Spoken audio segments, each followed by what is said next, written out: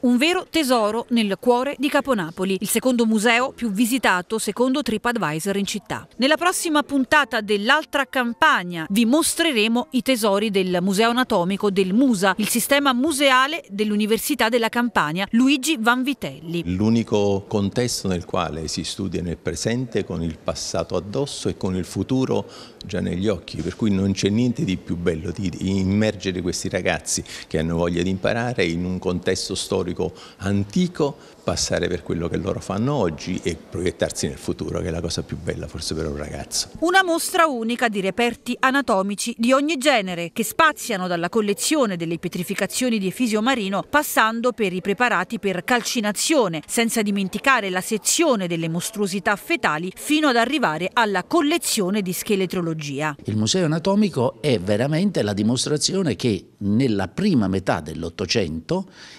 fino al termine del regno delle due Sicilie con eh, la casa dei Borbone, in realtà il sud Italia era l'eccellenza scientifica italiana. Un'esperienza interessante che miscela morte e vita nello slancio unico della ricerca scientifica nei secoli. Noi siamo animali visivi, e visivi e cognitivi allo stesso tempo. Eh, e quello che ci attrae è indubbiamente anche nell'orrido la bellezza dell'orrido. Quello che si vive visitando questo museo è che la forma è bellezza.